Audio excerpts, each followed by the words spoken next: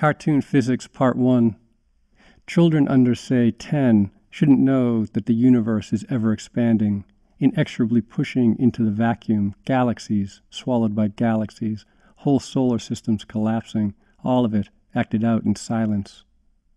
At 10, we are still learning the rules of cartoon animation that if a man draws a door on a rock, only he can pass through it. Anyone else who tries will crash into the rock. 10 year olds should stick with burning houses, car wrecks, ships going down, earthbound, tangible disasters, arenas where they can be heroes. You can run back into a burning house. Sinking ships have lifeboats. The trucks will come with their ladders. If you jump, you will be saved. A child places her hand on the roof of a school bus and drives across a city of sand.